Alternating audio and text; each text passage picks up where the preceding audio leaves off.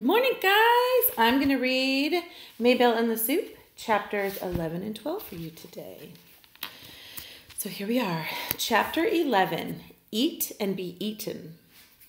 The cart rolled and clattered along the hall into the elevator, down to the first floor, and through a pair of swinging doors. They opened into the busiest room in the hotel, the kitchen. This room was full of light and humans and feet. Humans tossed salads, stirred sauces, chopped vegetables, and bread. Everyone hurried. And the noise! Spoons scraped, pots banged, blenders whirred, and the sharp blades of a garbage disposal roared in the sink.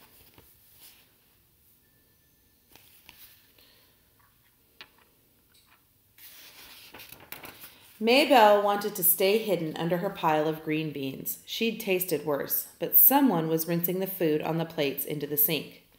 Maybelle felt a rush of fear. The terrible mouth of the garbage disposal opened wide. A garbage disposal was going to eat her. When her dish was held under the faucet, she tried to hang on to it, but she was slippery with butter from the green beans. Swoosh! Off she went down the drain. The drain gushed with water that pushed Maybelle toward the disposal's great grinding teeth. If only there was some way to climb out. Suddenly, a long celery stalk washed into the drain and stood for a moment, half in, half out. Maybelle scrambled up the stalk as fast as she could and hung on. The stalk caught in the blades of the disposal and began to spin. Zing! Maybelle shot across the kitchen and into a blender that whirred on the counter. Boing! She bounced onto a twirling chunk of carrot. Zip! She rocketed out of the blenders, sailed through the air, and landed on a plate of food. The kitchen workers were much too busy to notice Maybelle. Someone tucked parsley around her, clapped a silver lid over the plate, and sent it off to the dining room. Safe in the dark under the lid, Maybelle was about to taste a hotel meal right off the plate in the finest dining room in town. This was more than even she had dared to want. Okay, chapter 12. Hello again. Meanwhile, Mr. and Mrs. Peabody sat at a lovely table by the window, looking just so. A waiter came their way, rolling a cartful of plates under silver lids. The Peabodys spread their napkins on their laps and prepared to be served.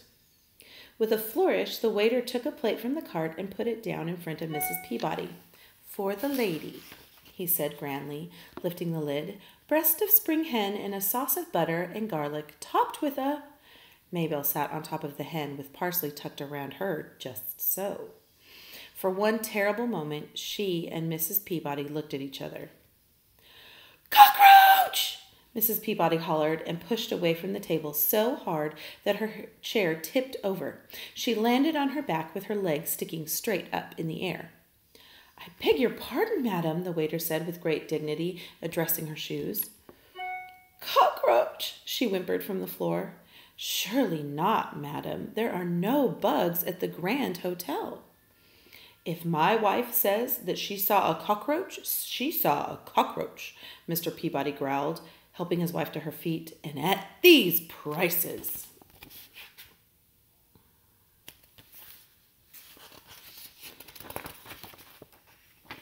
In all the excitement, Maybelle fled to Mrs. Peabody's purse, the nearest dark place she could find.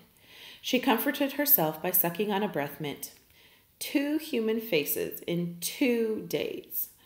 Mrs. Peabody picked up her purse and let Mr. Peabody help her out of the dining room.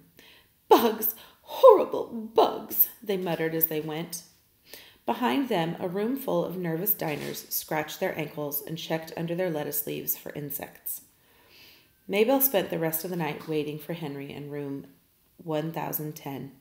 Henry didn't come.